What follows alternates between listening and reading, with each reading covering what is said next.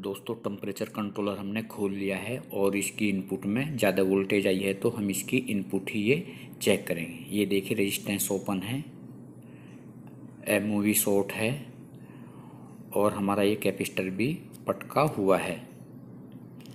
नमस्कार दोस्तों, अपने यूट्यूब चैनल में आपका स्वागत है। दोस्तों, आज हम आपको टेम्परेचर कंट्रोलर रिपेयर करके दिखाएँगे। इसकी पूरी इलेक्ट्रॉनिक्स रिपेयर करके दिखाएँगे। और अब हम इसको खोल लेते हैं। दोस्तों, अभी तक आपने चैनल को सब्सक्राइब नहीं किया तो चैनल को सब्सक्राइब कर लें और साथ में बेल आइकन घंटी भी दबा दें, जिससे आने वाला नोटिफिकेशन आपको जल्दी से मिल जाए। और वीडियो सबसे पहले आप देख लें। तो अब हम इसको खोल लेते हैं। ये देखिए, ये हमने कंट्रोलर को खोल लिया है। तो दोस्तों, ये डब्बा एक साइड में रख लेते हैं। और ये देखिए, ये हमारी इसकी इनपुट है। इस साइड से हम ये इनपुट चेक करेंगे। यहाँ से ये इसका बोर्ड निकाल लेते हैं। यहाँ इस स्लॉट में फंसा हुआ है तो हमने ये इसका बोर्ड निकाल लिया है दोस्तों। और सबसे पहले हम इसकी ये वाली इनपुट चेक करेंगे। ये देखिए कैपिस्टर इसका फटा हुआ है। इसमें ज़्यादा वोल्टेज आई है ये मूवी भी इसका शॉर्ट है और शॉर्ट होने से ये हमारी फ्यूज रेजिस्टेंस ये उड़ी हुई है। तो इस तरह से हम ये कंपोनेंट चेक कर लेते हैं। सबसे पहले दोस्तों हम इसकी इनपुट पावर सप्लाई ये ठीक कर लेते हैं। तो दोस्तों, जैसे ही हमारा मूवी वी डी आर ख़राब हुआ है, हो सकता है ये पूरा सर्किट हमारा बच गया है। फ्यूज रेजिस्टेंस उड़ गई है। कैपिस्टर फटक गया है। तो दोस्तों, ये हम ये तीन चीज़ रिपेयर कर लेते हैं। ये नई लगा लेते हैं, कैपिस्टर निकाल लिया हमने ये वाला। तो इसकी जगह दूसरा कैपिस्टर लगा लेंगे, होल साफ़ कर लेंगे। और इसके बाद ये एक रेजिस्टेंस निकाल लेंगे एमओवी निकाल लेंगे। तो इसकी तीनों चीज़ निकाल के तीन चीज़ न्यू लगा देंगे। ये हम एम भी इसका निकाल लेते हैं, ये भी हमने निकाल लिया है। तो दोस्तों, एक बार इनको चेक कर लें। वैसे तो लगे लगे हमने देख लिया था, ये ख़राब थे तो देखिए दोस्तों, ये ये शॉर्ट है। 122 ओम दिखा रहा है, ये शॉर्ट है और ये तो ओपन ही है, एकदम फटका हुआ है और रजिस्टेंस भी हमारी ये ओपन है। तो दोस्तों, यहाँ शॉर्टिंग देख लेते हैं एक बार। शॉर्टिंग नहीं है, देखिए, बिल्कुल ओपन है। रजिस्टेंस वैल्यू दिखा रहा है और ये हम डायोड चेक कर लेते हैं। ये ब्रिज लगा हुआ है एस एम डी कंपोनेंट है इसमें सब ये। ये दोस्तों, ये हमारा ब्रिज सही है। तो ब्रिज सही है तो बस ये हमारी पावर सप्लाई अब ये ठीक हो जाएगी। बहुत आसान है।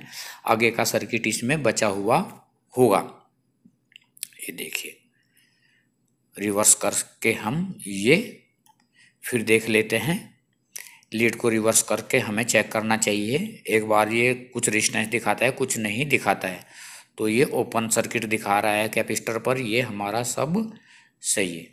और अब हम इसमें कंपोनेंट लगा देते हैं। ये वाले कंपोनेंट इसमें हम लगा देते हैं। ये ख़राब है हमारे।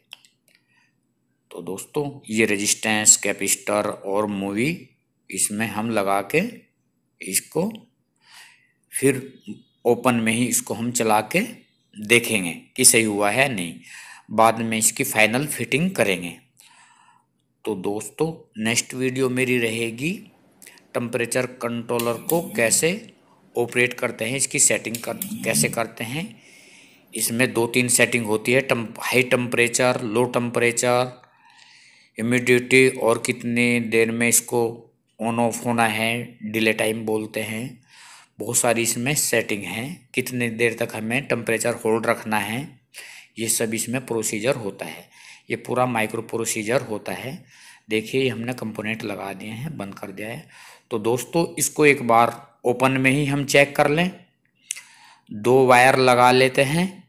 दो वायर लगा के यहाँ पर दो वायर सोल्डर कर लेते हैं। ये हमारी सोल्डरिंग हो गई है।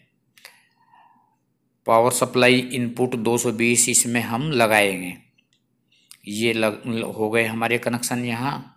अब ये हमारा बोर्ड है, इसमें हम पावर इनपुट दे देते हैं। ये देखिए दोस्तों, हमने पावर इनपुट इसमें दे दिए और बत्ती इसमें ये जल गई है। देखिए ये आ गया है 1820 और ज़ीरो ये हमने कर दिया है। अभी हमने इसमें टेम्परेचर टीसी नहीं लगाया है। इसमें हमने थर्मोकपल नहीं लगाया है। तो दोस्तों, ये टेस्ट हो गया है। अब आओ हम इसकी फिटिंग कर लेते हैं। ये देखिए, ये बॉक्स ये हमारा और इसमें एक दो नंबर पर पावर सप्लाई है। इस हिसाब से इसमें हम इसको पूरी असम्बली को इसमें पुश फिट कर देते हैं। ये पुश फिट हमारा है बॉक्स तो पिस पुश फिट हो गया है। अब हम इसको एक और दो नंबर पर पावर सप्लाई दे के एक बार इसकी टेस्टिंग यहाँ फाइनल कर लेते हैं। बाद में मशीन में हम इसको लगा लेंगे। इसकी सेटिंग हम वहाँ भी कर सकते हैं और इसकी सेटिंग हम यहाँ भी आपको थोड़ी सी करके दिखाते हैं। ये देखिए दोस्तों, इसमें ये सेट पॉइंट लिखा हुआ है आई एन ई तो ये दिखा रहा है, हमारा थर्मोकपल ओपन है और ज़ीरो टेम्परेचर दिखा रहा है। तो दोस्तों, देखिए हम इसकी सेटिंग कैसे करते हैं। यहाँ सेट है और ये ऊपर नीचे ये। ये ऐसे इसकी सेटिंग करते हैं। ये जो ऊपर नीचे के हमारे एरो हैं, इनसे हम इससे टेम्परेचर सेट कर सकते हैं ये इधर को जानने के लिए और ये इधर ऐसे सेट करने के लिए। तो दोस्तों, मैं आशा करता हूँ वीडियो आपको अच्छी लगी होगी तो वीडियो को ज़्यादा से ज़्यादा लाइक करें शेयर करें और अभी तक आपने चैनल सब्सक्राइब नहीं किया तो चैनल को सब्सक्राइब भी कर लें। जय हिंद, जय भारत। Thank you